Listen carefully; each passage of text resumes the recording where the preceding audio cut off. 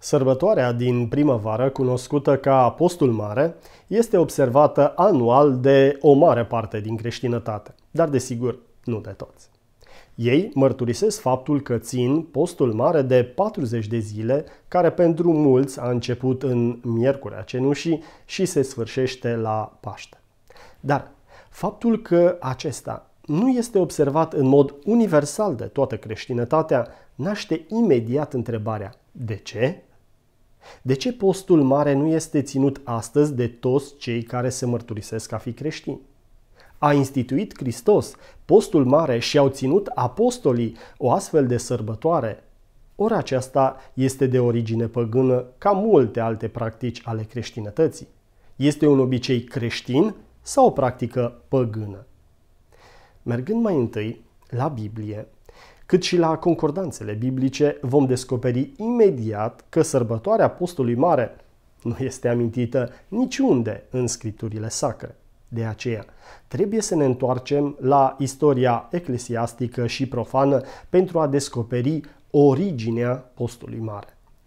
În scrierile istorice ale părinților bisericii din primele trei secole, tot ce se poate găsi este mențiunea despre o sărbătorire cu caracter neregulat înainte de celebrarea anuală a comemorării.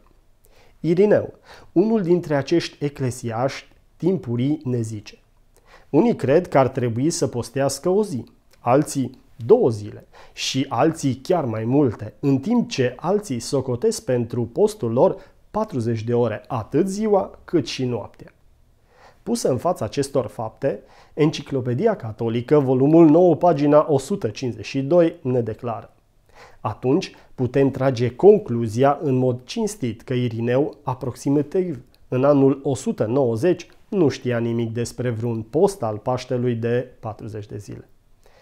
Aceeași concluzie rezultă din declarația lui Tertulian, consemnată numai câțiva ani mai târziu, spunând Și există aceeași tăcere care s-a observat la toți părinții dinainte de Nicene, deși mulți au avut ocazia să menționeze o asemenea doctrină apostolică, dacă aceasta ar fi existat. Prin urmare, este evident faptul că Isus Hristos, cât și apostolii, nu știau nimic despre postul din timpul primăverii și atât timp cât biserica creștină a rămas nepângărită de obiceiurile păgâne, nu s-a ținut niciun post. Acest fapt este susținut de ceea ce a scris Casianus, un călugur din Marseille care a trăit în secolul al V-lea. Și citez. Ar trebui să se știe faptul că ținerea celor 40 de zile ale postului mare n-a existat atât timp cât perfecțiunea bisericii primitive a rămas nepângărită. Dar atunci, de unde au venit acest obicei?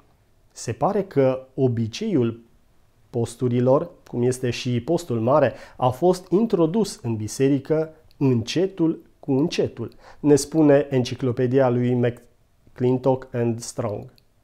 Deci introdus încetul cu încetul. De către cine? Și din ce sursă?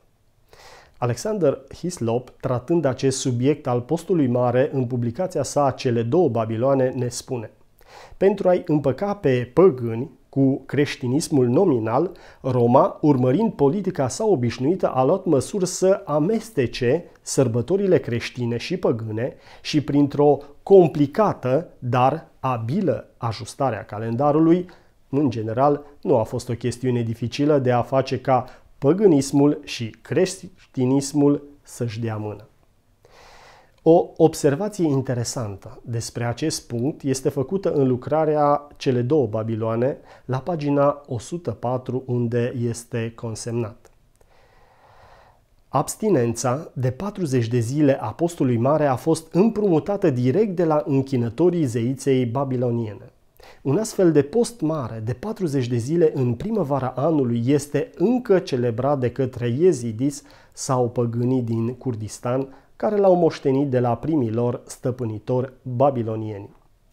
Acest fapt din urmă este atestat de descoperirile renumitului arheolog Layard, care ne spune că acești oameni se rețin în decursul acestei perioade, adică apostolului mare, tot la fel de complet ca și caldeenii de la hrana animală. Citat de la titlul Babilon și Ninive, pagina 93. Un alt arheolog eminent, Wilkinson, explică în lucrarea sa Antichități egiptene, volumul 1, pagina 278, că multe secole înainte de Hristos, egiptenii respectau postul mare de 40 de zile. Și lucrarea cercetări Sabene a lui Lenzer, la pagina 112, zice că acest post din primăvară de 40 de zile era în mod clar în cinstea Dumnezeului demon Osiris sau Adonis. De altfel, ce altă dovadă mai bună ar fi că acest post mare de 40 de zile este de origine păgână decât să aflăm că băștinașii din Mexic, a căror religie închinătoare la soare, își are originea în închinarea lui Nimrod, înființată după potop la turnul Babel. Ei sărbătoreau un post de 40 de zile în fiecare primăvară cu secole înainte de călătoria spre vest a lui Columb. În lucrarea sa Cercetări mexicane, volumul 1, pagina 404, Humboldt ne spune La trei zile după echinocțiul de primăvară a început un solemn post de 40 de zile în cinstea soarelui. Mai mult decât atât. Obiceiul din timpul perioadei postului mare de a posti în zilele lucrătoare și de a plânge, deoarece nu există hrană, și apoi de a se bucura de un mare ospăț în timpul zilelor de duminică, își are de asemenea originea de la obiceiul păgând din vechime al postului mare legat de închinarea anuală la Dumnezeul demon Tamuz. În timpul acela păgânii plângeau și apoi se bucurau.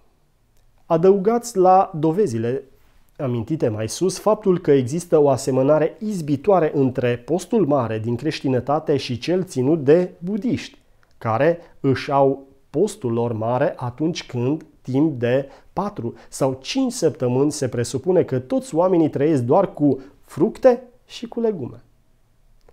Toate aceste dovezi ne ajută să găsim răspunsul corect la întrebarea din titlul acestei secțiuni. Postul mare creștin sau păgân.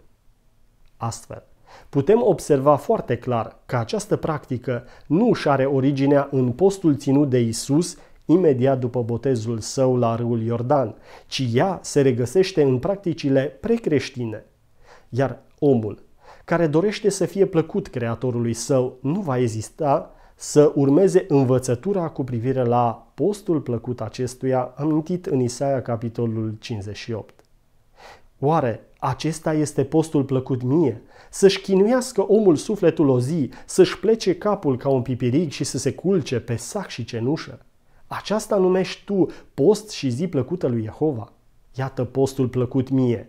Dezlagă lanțurile răutății, deznoadă legăturile robiei, dă drumul celor asupriți și rupe orice fel de jug. Împarte-ți pâinea cu cel flămând și adu în casa ta pe nenorociții fără adăpost.